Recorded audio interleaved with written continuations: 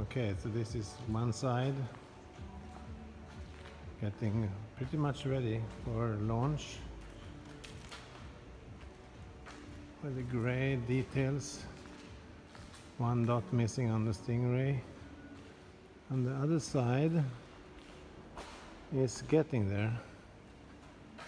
We're gonna finish it today maybe after the online live